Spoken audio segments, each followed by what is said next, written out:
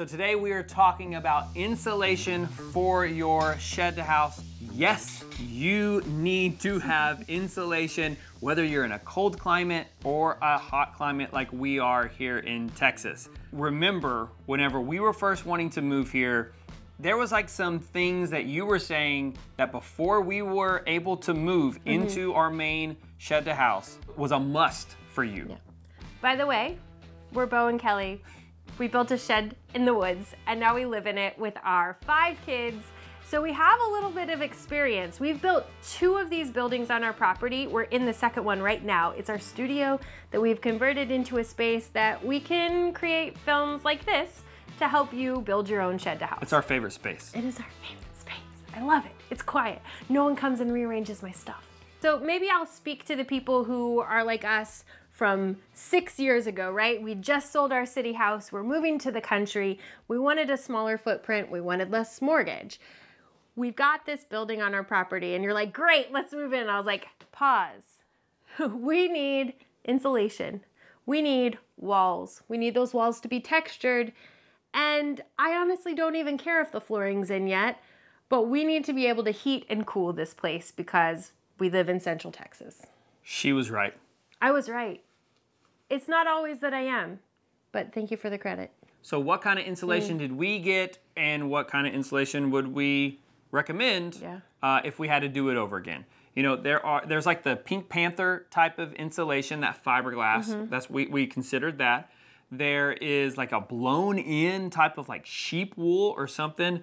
We So cool. like very organic. uh, so fancy. We we considered that. There is a thing called rock wool, like it's called Safe and Sound. It's uh, it's a it's a fireproof and a soundproof Mm-hmm. type of insulation, perfect for the studs. You just put it right in there. The same with the Pink Panther. Uh, we actually did use that, uh, not everywhere, but I, we'll go over that in a moment. And then there is spray foam. So do you remember?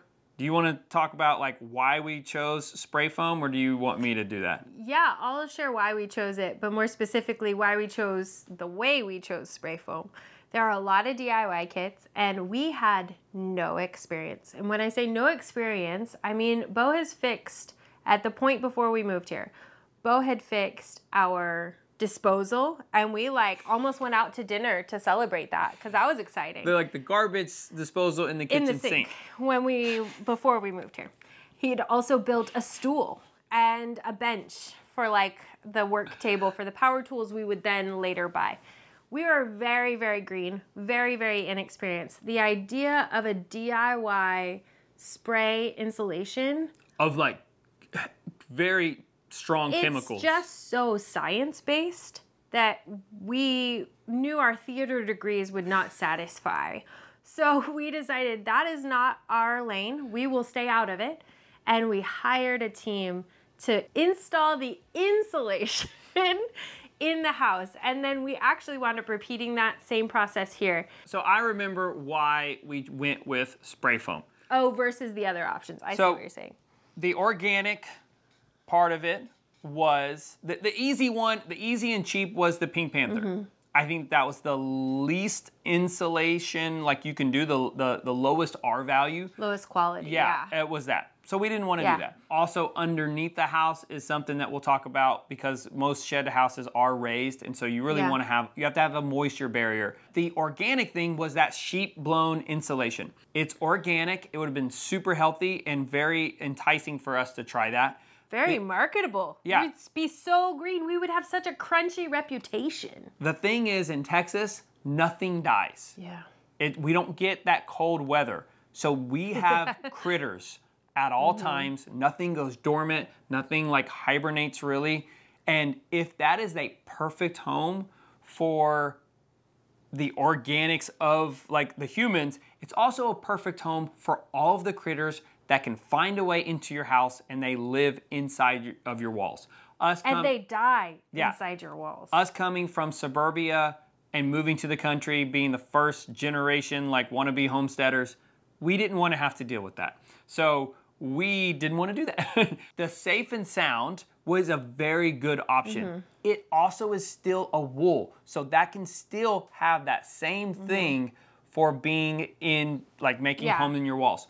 Now, we did use the Safe and Sound rock wool insulation underneath the lofts because our kids were going to be living in these lofts and it's helped Mm-hmm. Can a you lot. even imagine how loud it would Oh be? my goodness. We live directly below our 11 and 13 year old sons. yeah. They're like not only elephants, but like elephants at a party. It really muffles the sound a lot. I highly recommend that. Like, Yeah. you put it in the ceiling, but underneath the loft. it's the first floor ceiling. We went with spray foam because it creates that perfect seal Yeah. of your home. Basically, it kind of like waterproofs your home a mm. little bit. And so it just cre- it's just perfect. I really like spray foam. Mm-hmm. You can put down in the comments of that it's unhealthy. I think that if it's installed by a professional, it's going to be great. You're low risk if it's installed by a professional. Exactly. What I recommend with spray foam is closed cell spray foam. It is what is going to give you that waterproof all around your house.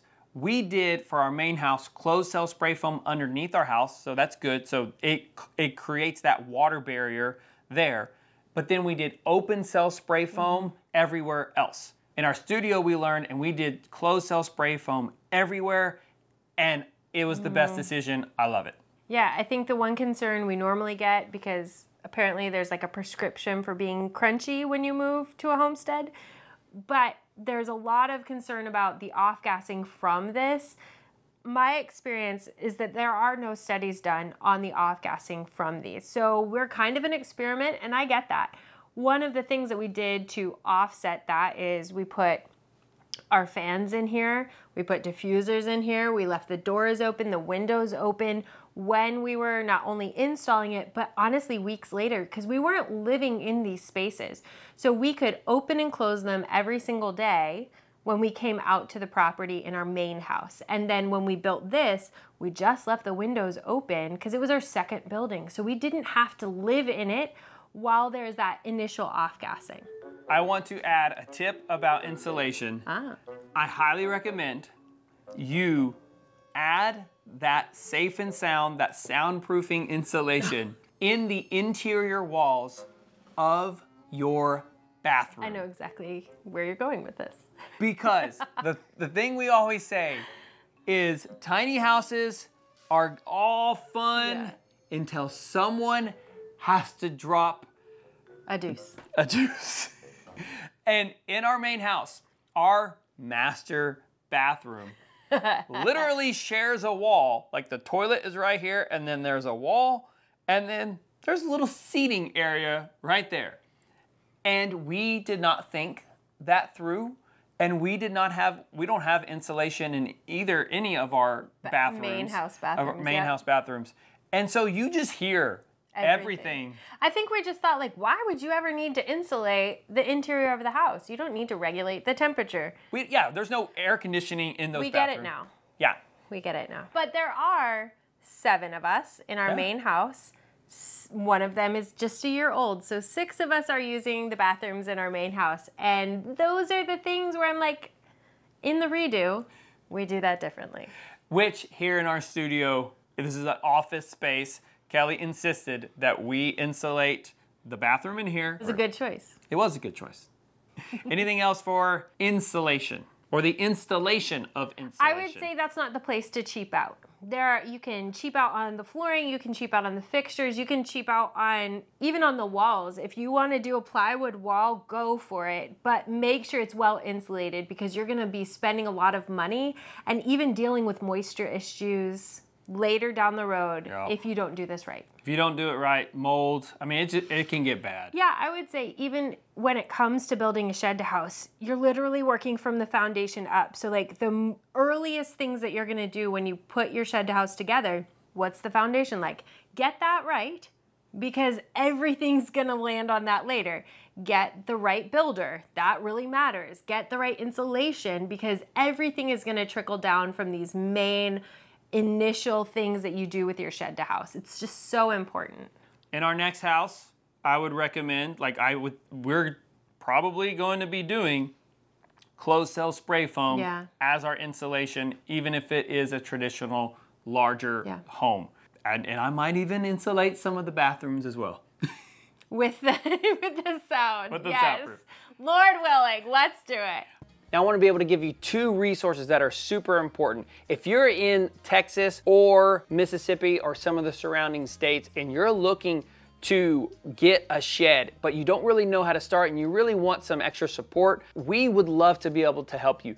We are representatives of a company called United Portable Buildings. United Portable Buildings actually made this studio that I'm sitting in right now. Our main house wasn't, needs a lot of work. It just wasn't built to the quality that United Portable Buildings builds.